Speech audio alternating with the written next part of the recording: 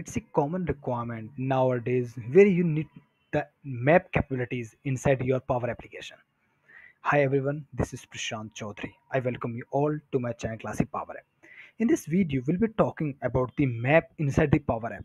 If I talk around two three years back, we were not having any direct control that can handle the map inside the Power App so we used to add the image control and on the above of the image control we used to have one either the bing map api or the google map api in order to show the map on the image control. But now we have the direct control available in the canvas editor from which we can use the map capabilities inside the power app. So in this example i just try to show you how we can use that component inside our power application and how can we actually take the leverage of this okay? So without wasting any time i'm just navigating to my screen. Okay so we need to create the application. So we go here and we create any first make the duplicate of this. Not reload actually duplicate okay? And as the map needs some data that would be visible okay so we need database as well. So we create one table first. Okay so let's create one table. And let's say table name would be map test table. And enable attachment save it. I've created the table. Now we need to create the some column. Because inside if you would like to point some address inside your map you need to provide some variables values like the latitude value or the longitude value or the where that particular location name. Okay so that data i'm just trying to store inside the table. Okay and meanwhile to that we're just opening one application the canvas application and we are using the tablet layout only. So map test application. Hit this and here we got our table is now ready. Now what we do we create the column. Okay so it's the modern view of this table. Okay so we created the column from here. And let's say our column name is latitude. Because in order to show the particular place inside our map we need some values that the latitude values and the longitude values okay? So we latitude lat and we are making it the data type of it to be uh, float because latitude values and longitude values would be in the decimal format okay? So we'll try the data type it to be float only and up to i'm just making it to up to four places of decimal okay? So save it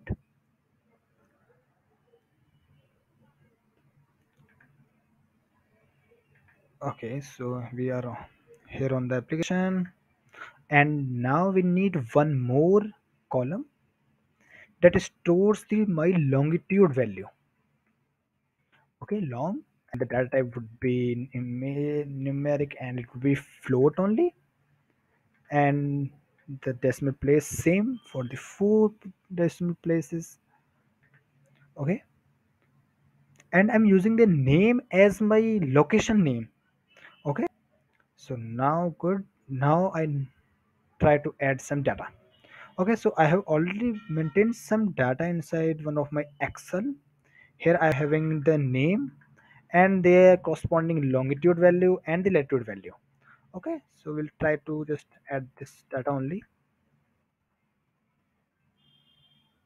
Okay so here we need let's take an example of this location delhi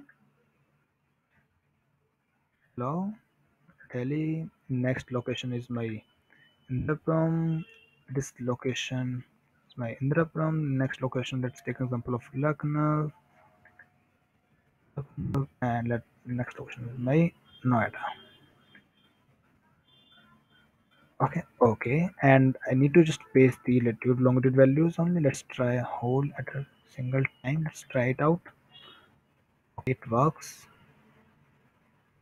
73731 for the Lucknow. Okay, and let's try the same for this as well for the longitude values. Okay, what is that? Just all the stuffs. Okay, uh, and we need some latitude and longitude values for Lucknow as well. So we'll search on the Google. Now, okay, first let's remove this particular row.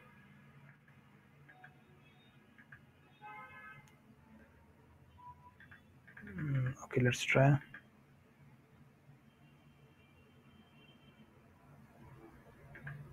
Let's try whether the data would be there or not. Okay, we get the data. Great now. I'm looking to just delete this data because it is not having any. Okay, let's any value. That takes an example of around latitude would be uh, 77 point. Uh, it would be around let's say 50. I'm just taking some random values. Okay. Oh, pass it here only. Lucknow latitude and longitude values. Nice. So this would be my longitude value. Write the random values. And the another one would this is my latitude value.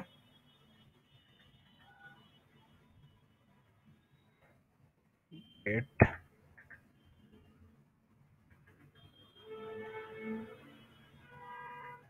Okay. Great. My data is ready now. Okay.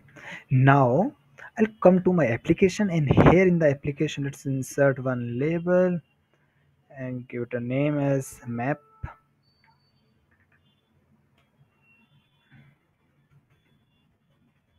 Map. And make it a good size 50 okay and inside the media if I scroll it down I can see we have the map control available. Okay just click on this. And once you add this image control map control sorry map control you need to provide the database for the particular control okay? So for what is my database? I'll add my this list as a database. So my list name is map test map test list. Okay so i'll write map test map test tables. Okay. So because it takes the plural name. Okay. So map ta- test table. Got it. I just expand this one so that it would be on the complete screen.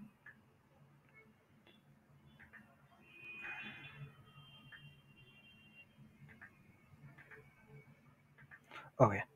So here i have multiple features for this particular control here you can see that much. So what i'll do i simply start making the view of this to be active view okay? Because inside the active view all rows would be visible by default okay? And inside later on we i simply scroll it down. So move this one. Show current location. And these are the location latitude values and longitude values okay? So let's try what is the latitude value and longitude value of my present system. So i'll write latitude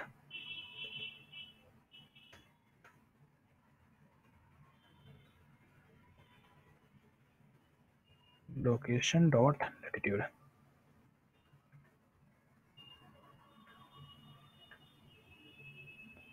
and I control C, control V. This is my longitude.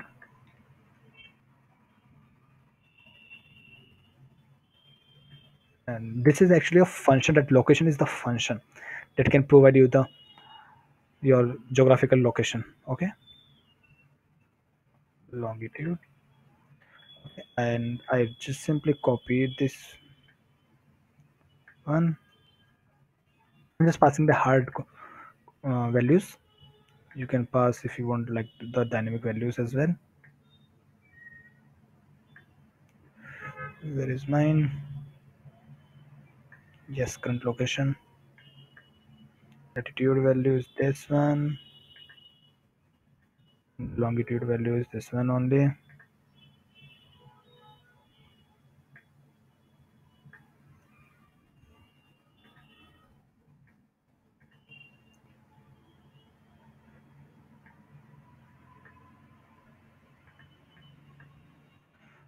so i enable this. And if i need to go to the advanced and here if i scroll it down i'm not getting the scroll bar. Need to search search. Oh yes i got it. I if i scroll it down i can see at the bottom let me just show you. Yes item label item latitude and item longitude. Here i need to pass th- those values okay so for the item label i want it to be my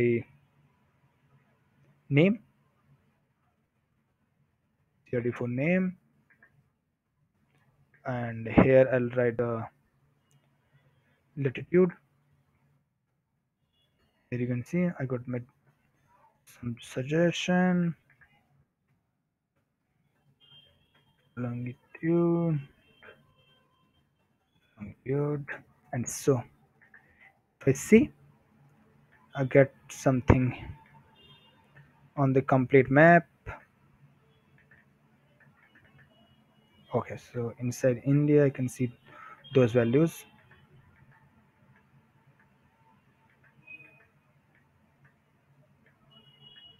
See here my current location that is providing by this control. Okay i need to just pause it because uh, i need to just refresh this data okay? And i'm just running out out of this out of the time.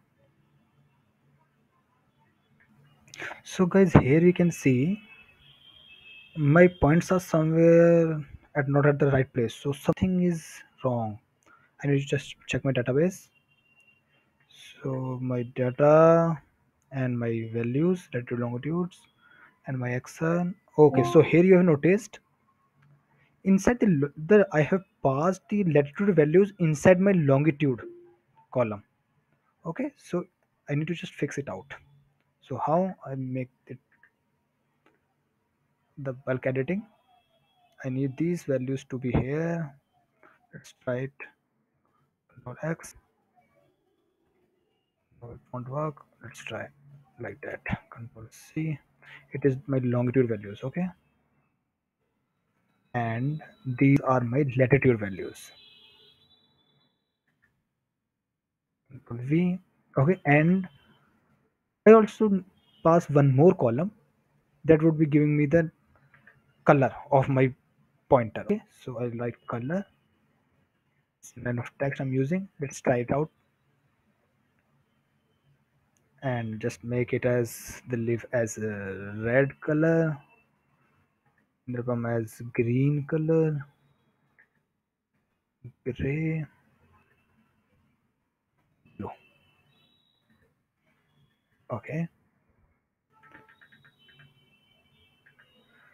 Yes just check it out here whether the values are printed or not.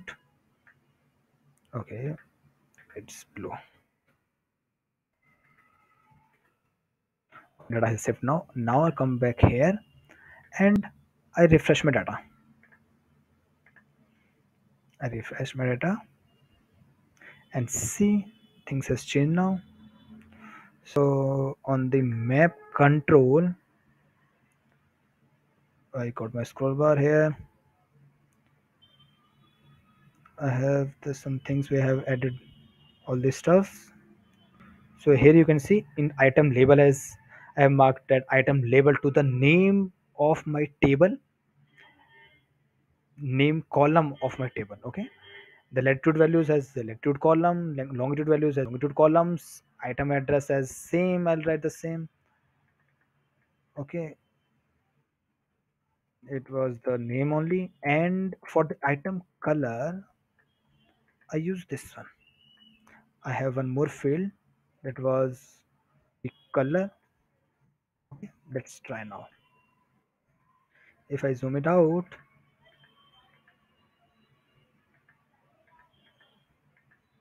Okay. I guess it is not showing me the right colors of mine. Let's refresh one more time.